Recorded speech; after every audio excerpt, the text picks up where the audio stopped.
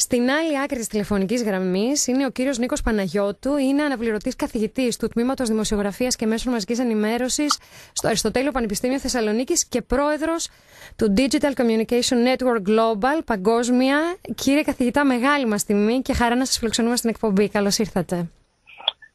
Καλησπέρα σας. Ευχαριστώ πολύ και εγώ για την φιλοξενία αλλά και για τη δυνατότητα έτσι να συζητήσουμε για κάποιες από τις πρωτοβουλίες που έχουμε πάρει. Και δεν θα μιλήσουμε μόνο για τις πρωτοβουλίες, μιας και οι αφορμές για αυτή μας, για τη σημερινή μας κουβέντα είναι πολλές, δυστυχώς όχι ευχάριστες οι περισσότερες. Είσαστε για κάποιους από τους ανθρώπους που δεν σας γνωρίζουν, ο ακαδημαϊκός του οποίου έρευνα όλα αυτά τα τελευταία χρόνια έχει συμβάλει καθοριστικά στην καταπολέμηση της διάδοσης των ψευδών ειδήσεων και σήμερα θα ήθελα πραγματικά να δώσετε τα φώτα σας και σε εμάς και στους ακροατές μας. Γιατί το κοινό τίνει ή εμένει να διαβάζει, να πιστεύει, να αναπαράγει άκρητα ψευδείς ειδήσεις, κύριε καθηγητά. Ναι, ένας πολύ βασικός λόγος είναι το ότι δεν εμπιστεύεται τους δημοσιογράφους, δεν εμπιστεύεται τα μέσα ενημέρωσης και πιστεύει ότι με το να καταφεύγει στο διαδίκτυο και σε ανώνυμες πηγές θα ενημερωθεί καλύτερα. Μα αποτέλεσμα αυτού, αυτού του είδους την πεποίθηση, την γνώση που έχει ο άλλος ή την εντύπωση που έχει ότι πηγαίνοντας στο ίντερνετ διαβάζεται κειμενικές και ανεξάρτητες ειδήσεις, να μην εμπιστεύεται τα μέσα ενημέρωσης, τους επαγγελματίες δημοσιογράφους, όσους τέλος πάντων δημοσιογραφούν επώνυμα. Οπότε στο διαδίκτυο είναι πολύ πιο εύκολο να δείξει ένα βίντεο και να ισχυριστείς πράγματα τα οποία ο άλλος είναι δύσκολο να επιβεβαιώσει και ταυτόχρονα αυτός που επισκέπτεται το ίντερνετ θα δει ένα βίντεο παραδείγματος χάρη μια ψευδίδηση στο facebook ή στο instagram ή οπουδήποτε να έχει τη δυνατότητα να την αναμεταδώσει και έτσι γίνεται και ο ίδιος έτσι κρίκος μιας αλυσίδας ε, στην οποία είμαστε και εμείς συνυπεύθυνοι.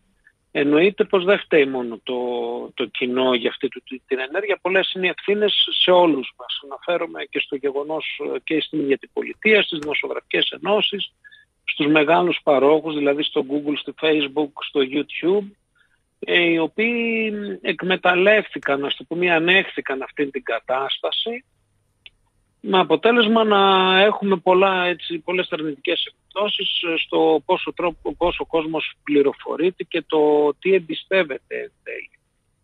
Και παραπληροφορείται μάλλον, ναι, όχι μόνο πληροφορείται. εκεί, είναι, εκεί είναι το περισσότερο, το πιο σπουδαίο. Πριν από δύο εβδομάδες πάντως, οι πολίτες της Θεσσαλονίκης, όλης της Ελλάδας, παρακολουθήσαμε με, με φρίκη και αποτροπιασμό την απροκάλυπτα νέτια δολοφονία του 19χρονου Άλκη Καμπανού και χρησιμοποιώ επί τούτου τη λέξη ανέτεια παρά το γεγονός ότι το πρόσημα της οπαδικής βίας στο όνομα μιας ομάδας, αν θέλετε, παρουσιάστηκε από αρκετούς ως η γενεσιουργός αιτία αυτής της δολοφονίας. Και εγώ στέκομαι στην προηγούμενη απάντησή σας. Μπορούμε να κάνουμε τη σύνδεση; Ρωτώ ευθέως, η παραπληροφόρηση προπορεύεται της βίας; Ναι, πολλές φορές παρακινεί στη βία, προς τη βία. Δηλαδή, ε, και θα κάνω αναφορά σε κάτι το οποίο έτσι πολλές φορές το μάθαμε, το ακούσαμε, είχε, είχε, ήταν, ε, είχε γίνει γνωστό όταν είχε ξεκινήσει η συζήτηση για τις ψευδείς ειδήσει, όπου κάποιος Αμερικανός καθώς είχε διαβάσει μια ψευδίδηση που έλεγε ότι σε μια πιτσαρία που την είχε ένας Ελληνοαμερικάνος στη Βάσιγκτον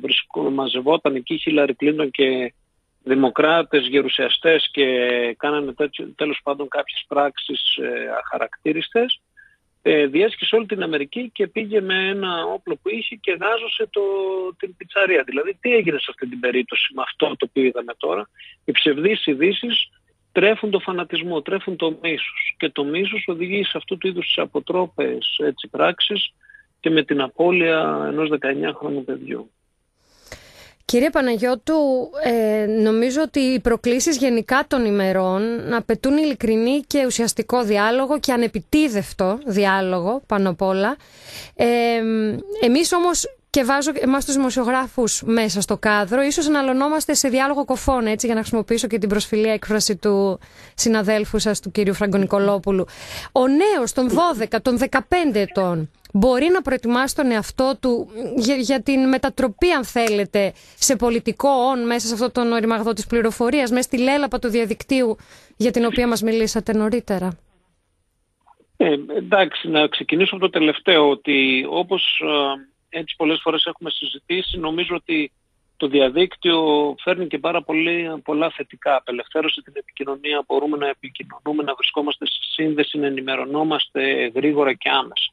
Ωστόσο, έφερε και ένα αρνητικό, ότι κλεινόμαστε σε ομάδες, σε γκρουπ, σε, σε, σε συγκεκριμένες απόψεις, με αποτέλεσμα πολλές φορές αυτό το οποίο πιστεύουμε ότι χάρη στο διαδίκτυο γίνεται μια ευρύτερη συζήτηση, ανοιγόμαστε και σε άλλες απόψεις, μάλλον να, να οδηγεί προς το αντίθετο. Δηλαδή να είμαστε κλεισμένοι μέσα σε γκρουπ που έχουν τις ίδιες απόψεις με εμάς, να αρνούμαστε να εκτεθούμε, να ακούσουμε, να μάθουμε, να δούμε την άποψη του άλλου και αυτό όπως καταλαβαίνετε ενισχύει το φανατισμό, ενισχύει την πόλωση, ενισχύει τα άκρα γενικότερα.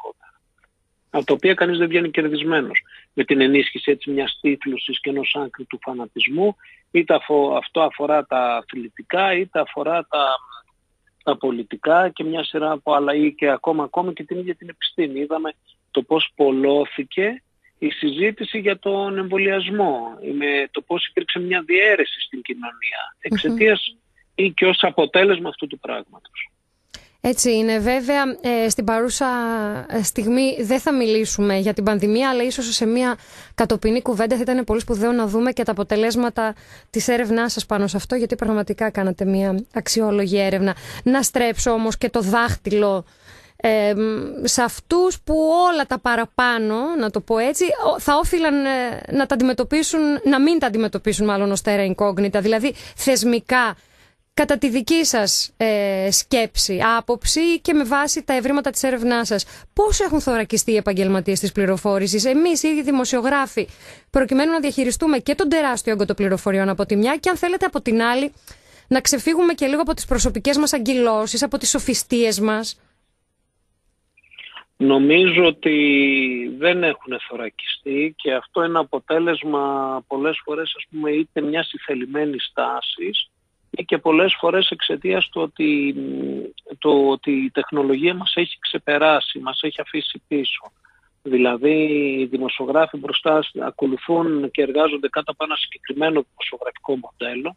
Ποιος θα πει πρώτος στην είδηση, με αποτέλεσμα να είναι πολύ εύκολο, ευκολότερο από ό,τι πιθανώς να φανταζόμαστε, να διαδοθεί μια ψευδή είδηση. Και εδώ θα κάνω αναφορά στην ανακοίνωση από το, από το Associated Press, προσέξτε, ε, το Associated Press, ένας γιγάντιος οργανισμός με χιλιάδες δημοσιογράφους, με προπολογισμό εκατομμυρίων, την πάτησαν, μου επιτρέπεται η έκφραση, από ένα fake news το οποίο διέδωσε ένας Ιταλός, ο Φαρσέρ, ας το πούμε έτσι, που δεν είναι ακριβώς Φαρσέρ, ε, και ο οποίος ισχυριζόταν ότι πέθανε ο, ο σκηνοθέτης ο κύριος Γαβράς. Ναι. Αποτέλεσμα αυτού ήταν να την αναμεταδώσει στο Society Press και να την αναμεταδώσει μια σειρά από οργανισμούς, έτσι, από μέσα ενημέρωσης και δημοσιογράφους. Γιατί έγινε αυτό, γιατί εκμεταλλεύτηκε το γεγονός ότι οι δημοσιογράφοι νοιάζονται ακόμη και σήμερα για το ποιος θα πει πρώτος στην είδηση, ενώ δεν είναι αυτό. Σημασία, όπως, όπως να κάνω και μια αναφορά με αυτό που γίνεται μεταξύ ε, Ρωσίας και Ουκρανίας, είναι να καταλάβουμε το γιατί συμβαίνει και όχι κάποιος πρώτος να πει αν έφυγαν τα ρωσικά στρατεύματα που τελικά όπως φαίνεται έχουν φύγει λίγο και έχουν φύγει και θα δούμε πώς και νομίζω ότι έτσι θα εξελιχθεί. Δηλαδή οι ίδιοι να ισχυρίζονται ότι δεν φύγαν, οι, οι δυτικοί να λένε ότι φύγανε κλπ. Τώρα μου δίνετε και την ε, κατάλληλη αφορμή για την επόμενη ερώτηση που ήθελα. Ε, είστε πρόεδρος ε, του Digital Communication Network Global. Θα ήθελα λοιπόν στο πλαίσιο και αυτής σας της ιδιότητας, αλλά ακριβώς επειδή έχετε κάνει και ένα σωρό κινήσεις ως προς την προάσπιση αν θέλετε ενός αγαθού τόσο πολύτιμου όσο και δυσέβρετου ε, ταυτόχρονα δυστυχώς της δημοκρατίας και της αλήθειας να μας πείτε ποιες είναι αυτές οι κινήσεις και αν μπορούμε κι εμείς και ως δημοσιογράφοι και ως απλοί πολίτες να, να συμμετάσχουμε τροποντινά σε αυτές. Ναι. Το Digital Communication Network Global είναι ένας παγκόσμιος οργανισμός με 7.000 μέλη. Ε, πρόσφατα ε, ε, εκλέχθηκα πρόεδρος του οργανισμού αυτού και, και, και το πολύ βασικό νομίζω είναι ότι καταφέραμε να φέρουμε την έδρα του οργανισμού στη Θεσσαλονίκη, αναδεικνύοντας έτσι τις δυνατότητες που έχει η πόλη και η χώρα γενικότερα. Γιατί είναι σημαντικό, γιατί είναι ένας οργανισμός ο οποίος ασχολείται με τις ψηφιακές τεχνολογίες. Ε, κάνουμε μια σειρά από πάρα πολλές δράσεις, δηλαδή δράσεις όπως εκπαίδευση δημοσιογράφων ή ανθρώπων που ασχολούνται με την επικοινωνία, ε, webinar, δηλαδή online διαδικτυακές συζητήσεις, επιμορφώσεις, αλλά ταυτόχρονα και πάρα πολλές, ε, τρέχουν και πολλές ερευνητικές πρωτοβουλίες όπου συζητάμε το ποιες θα είναι οι τεχνολογίες οι οποίες θεωρούμε κατά τη γνώμη μας και με βάση τα στοιχεία που μελετούμε που θα πρωτεγωνιστήσουν στο μέλλον. Έτσι είχαμε δημιουργήσει και δημοσιοποιήσει από το 2018 μάλιστα συγκεκριμένες έτσι μελέτες που τονίζαμε γιατί το, το TikTok θεωρούμε ότι θα κυριαρχήσει ως, από τα social media όπως και έγινε, ενώ τώρα δουλεύουμε πάρα πολύ γύρω από το ζήτημα αυτό του Metaverse που ανακοίνωσε το Facebook. Και εννοείται πως το δίκτυο και ο οργανισμός είναι ανοιχτός προς, και προς σε όλους τους δημοσιογράφους επαγγελματίες αλλά και προς το κοινό που ενδιαφέρεται να κατανοήσει, να καταλάβει και να χρησιμοποιήσει τις ψηφιακές τεχνολογίες καλύτερα. Και ίσως όλοι μας ε, θα έπρεπε να μπούμε λίγο στη διαδικασία αυτή για την οποία, ε, διορθώστε με αν κάνω λάθος, ήδη από το 2015 η Ευρωπαϊκή Επιτροπή είχε, είχε ζητήσει και συστήσει έντονα την πρόθεση του γραμματισμού στα μέσα ενημέρωσης, δεν είναι έτσι; Ναι, έτσι ακριβώς. Έτσι ακριβώς. Ακριβώς. Και ταυτόχρονα ο γραμματισμός στα μέσα από την άποψη ότι προσπαθούμε να καταπολεμήσουμε την παραπληροφόρηση και να προωθήσουμε μια άλλου είδους έτσι, κατανόηση των ζητημάτων αυτών. Νομίζω μέσα από την κουβέντα μας και από τις ε, απαντήσεις που μας δώσατε έγινε απολύτως φανερό πόσο πολύ σχετίζεται η παραπληροφόρηση με το φανατισμό και τη βία και αν δεν το είχαμε καταλάβει τουλάχιστον το, τις τελευταίες ημέρες εδώ στη Θεσσαλονίκη και σε όλη την Ελλάδα. Νομίζω το καταλάβαμε με τον πιο δύσκολο τρόπο. Κύριε Παναγιώτου, θα ήθελα να σας ευχαριστήσω πολύ για τη σημερινή σας παρουσία στην εκπομπή μας. Ήταν τιμή να σας φιλοξενήσουμε και νομίζω πολύ σημαντικά τα όσα συμπεράσματα εξήχθησαν από αυτή μας την κουβέντα και δική μου μεγάλη χαρά για τη συζήτηση που είχαμε και σας ευχαριστώ πάρα πολύ για την πρόσκληση. Καλό σας απόγευμα. Καλό σας απόγευμα.